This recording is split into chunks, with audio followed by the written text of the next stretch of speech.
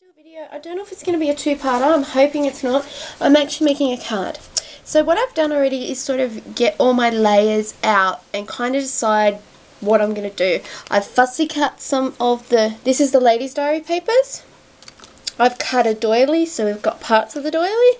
No point having a full one if you're not going to see parts of it. And then I've fussy cut this out. And yes, it was very hard to fussy cut. As you can see, it's very delicate. But it just gives it a lovely effect. So as you guys can see there in the light.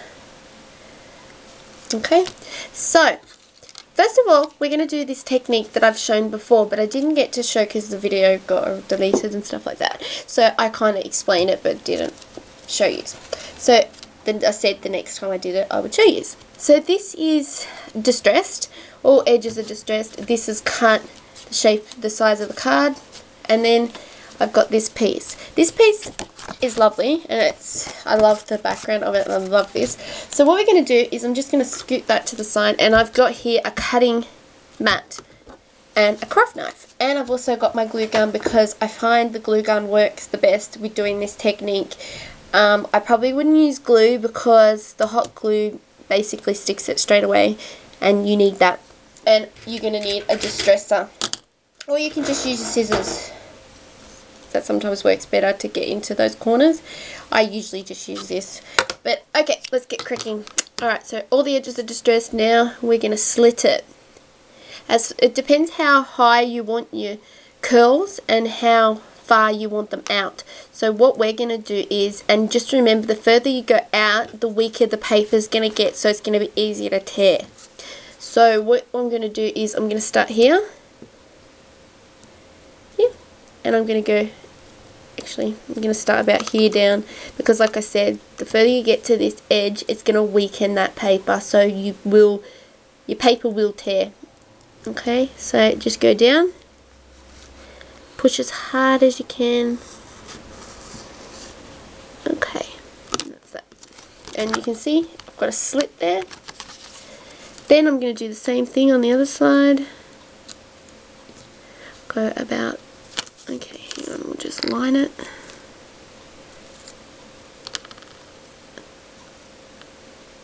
My eye line is about here. Okay. Okay ready do the same thing. So you're gonna have like a big X. Okay. So you guys can see that see the flaps. So now, what I usually do, if I'm using a 6x6 paper pad, I will line the inside with another paper, but with this one being a double-sided, the 8x8 pad, I haven't. So for this one, I'm just going to now get in there with my.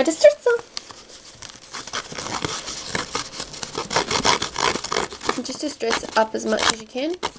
It will be a bit awkward. And you can also ink at this time if you're like to ink your papers. Just be careful not to tear it any more than it already is. Okay. And just keep distressing. Okay.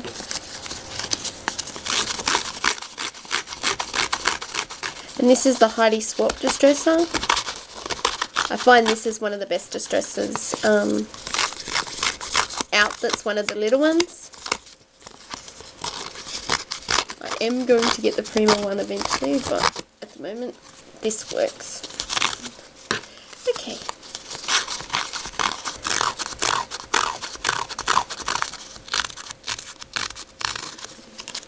And the only other thing is if you're using a 6x6 paper, make sure it's glued the full way if you're going to back it with another piece of pattern paper. Because the problem is when you cut your bits, you your paper will flap in the inside, like it won't be smooth like it is there. So just be careful of that. Sorry. Okay, now what we're going to do is take, I'll just hold that up so you guys can see. So it's all distressed every edge. Okay, now what we can do is take our gun, and I like to use also is my paper piece piercer. so what I'm going to do is just put my glue in here. So I'm just using just ordinary glue gum and I'll just put it here across. Sorry guys, hang on.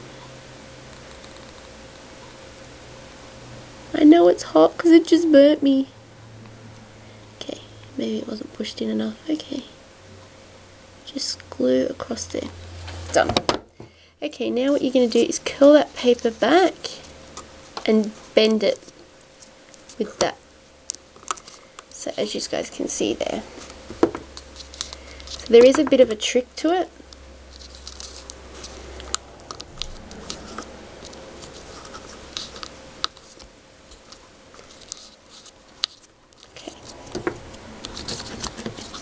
As you can see there, it's curled.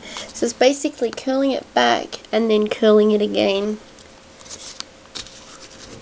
And you can also make it a bit more dimensional by just bending it. Just going to do the same thing with the glue. Okay, and then like I said, tuck it under like that and then use this to bend it under and then just push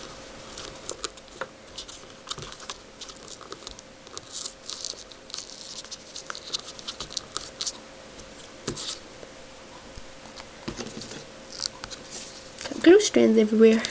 Okay. There we are. Alright, let's keep going. More glue down here. Hang on, just push this through. Don't what's up with this glue gun. I don't like to use glue guns, you guys know that.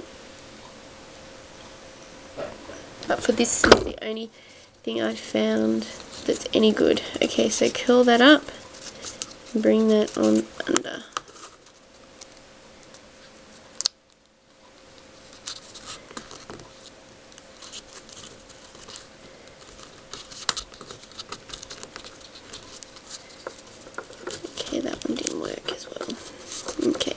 Doesn't work, just pull it before it dries.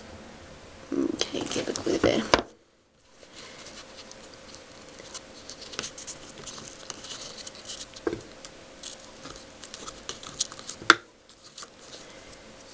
Okay.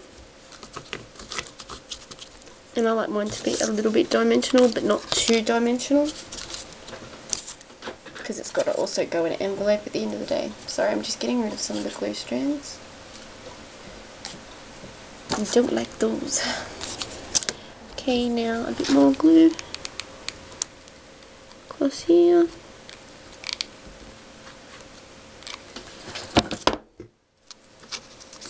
Just bend that under.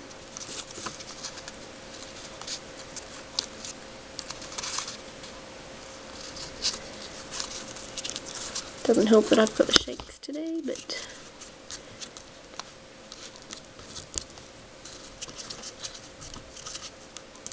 you just have a bit of a play and bend it to how you like it. Me, I'm perfectionist, so I try to make it as the same as possible.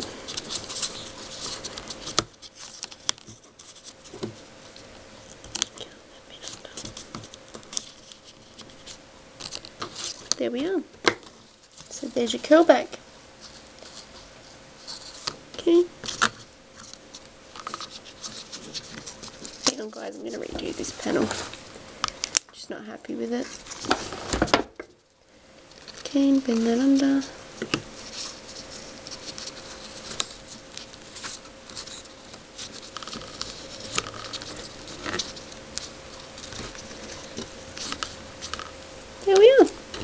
Perfect. Okay, so now that's going to go on the card, so in the middle. Okay, so what we're going to do with the doilies is we're going to grab some scissors. I'm just going to turn that heat gun so I don't burn myself. Okay. Sorry guys. Okay.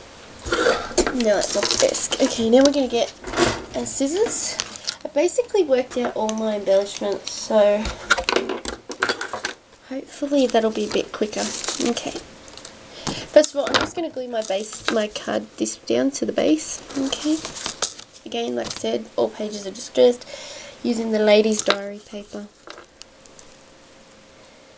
Okay, pull this out. Done.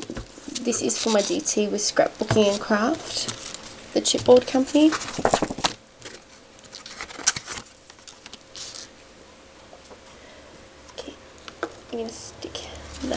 Down here.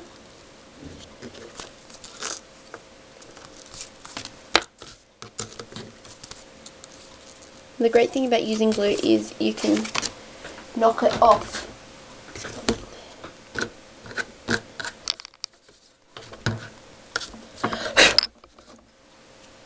Okay. Right. Next, what we're going to do is I've got these doilies. Where's my other one gone? I'm so sorry, guys. Just lost my doily. Okay, so what we're going to do is just cut this one.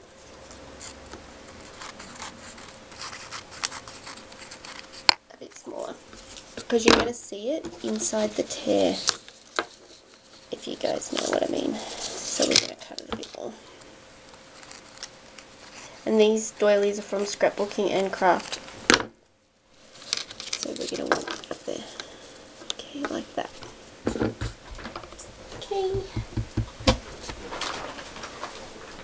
what I'm doing now is I'm going I've got my doily now what I'm doing is I'm actually going to attach it top and bottom to this piece. Okay, just glue it on in there. And I am going to just stick it on.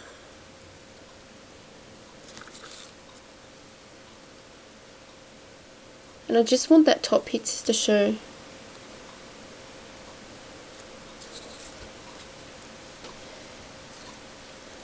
Little glue strands still. You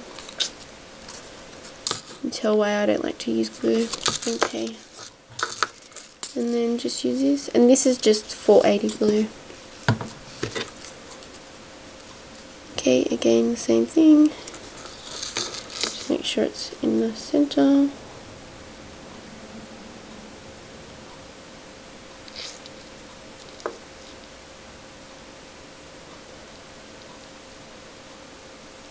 So we just go like that.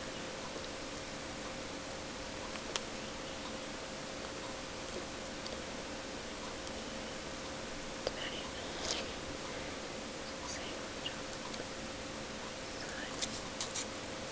Sorry guys, I'm just evening it up.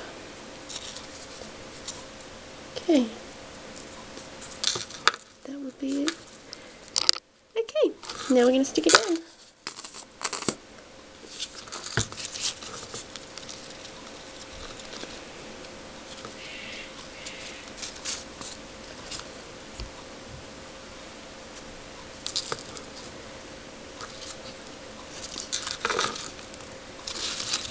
pull this one off just quick where it sits.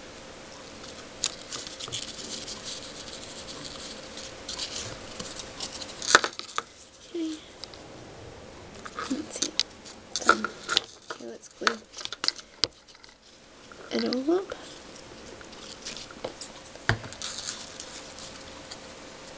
Get rid of this strand in the middle and glue it on down. Okay.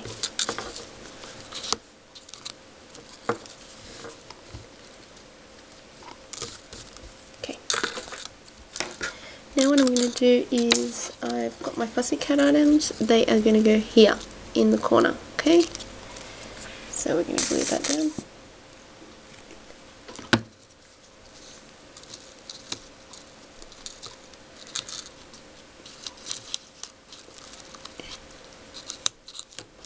Okay, that's in the corner.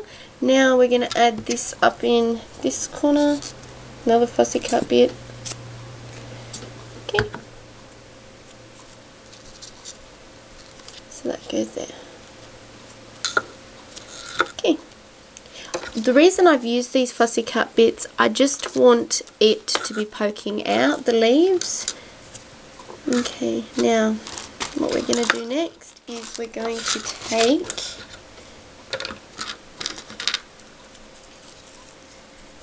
our bits that I think I'm going to do. Okay, That's what I'm thinking up there, so I'm just going to stick that now. So it's ready. Okay, pink.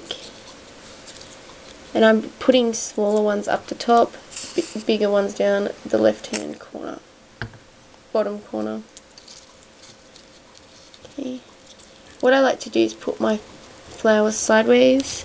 It just makes them sit a bit more dimensionally up. Okay. Instead of having them flat.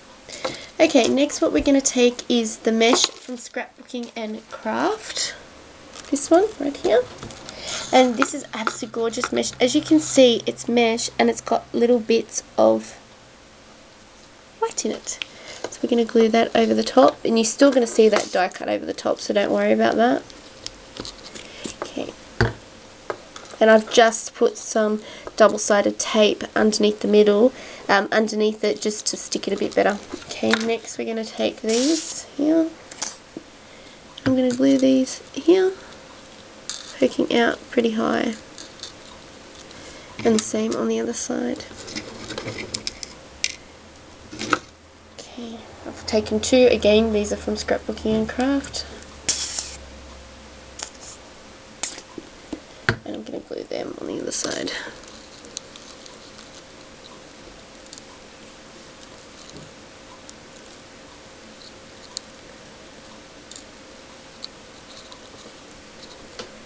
Okay. Okay, next what we're going to do is take our flowers and I'm just going to put them here. All these flowers are from Wild Orchid Craft.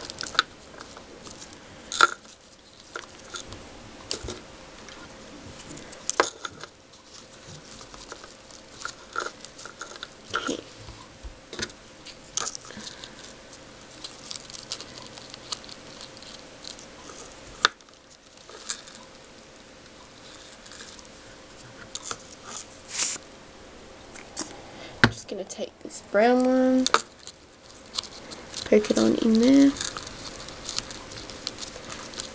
Still the mesh is poking out.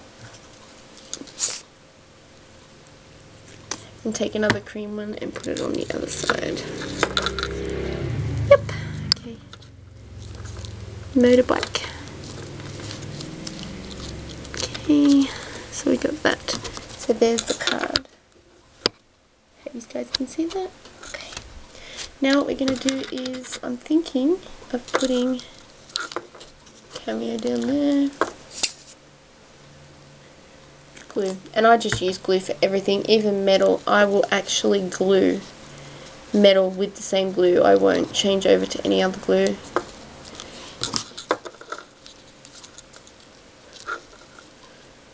Okay. Okay, just get the glue out. Now I'm just poking this metal here. You know me, can't live without my metal.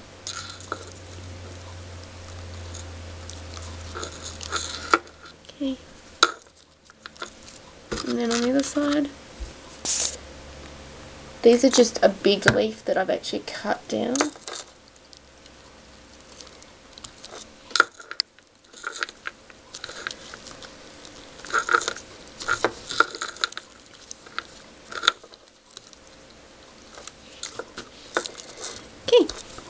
so that's that. I've taken some buds and I just wrap them around each other so they're different levels. And I just twist them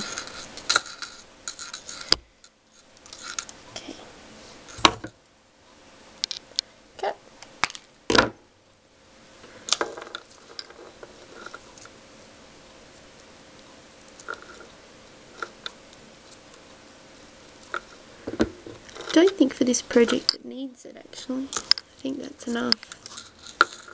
Yep. Okay. Now what I've got to decide is what I'm going to put in the middle. I'm thinking that, let's just test a few things.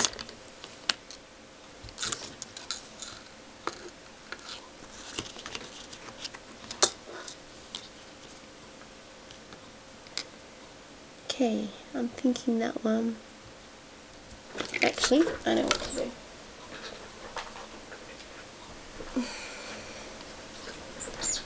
Perfect.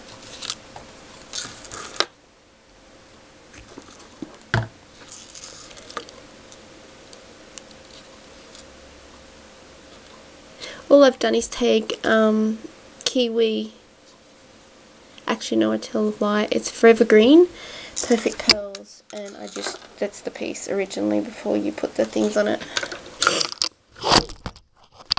Sorry. Okay. Alright and then now what I'm going to do is I'm just going to take some pearls I think. Actually tell why I'm going to take Does that need? Let's see. Cut that there. Again, these are flourishes from Scrapbooking and Craft. I'm so sorry. Oops. Okay, and then take the other side, the same. So that's that piece. And you can get a lot out of that if you're going to use it for cards. I wonder if that needs something underneath. No, I don't think so. Okay, so that's my card for today. And I'm absolutely in love with it. Just zoom out so you guys can see that. So all the detail down there. And I'll probably just put some pearls on the middle of the butterfly. So that's my card for today. Be sure to go check out Scrapbook and Craft. They have some awesome stuff I've used for this project. Their cameos, their stamens, which are the stamens down here. I've used their cameo, I've used their beautiful butterflies, I've used their doilies, and this lovely mesh. So, I will see you later.